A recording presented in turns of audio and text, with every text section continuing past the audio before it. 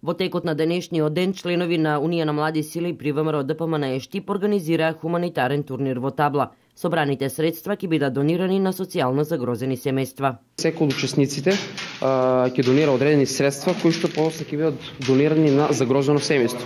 Оние кои што ќе освојат прво, второ и трето место ќе добијат благодарници и скромни подароци во чест да го означиме самиот турнир.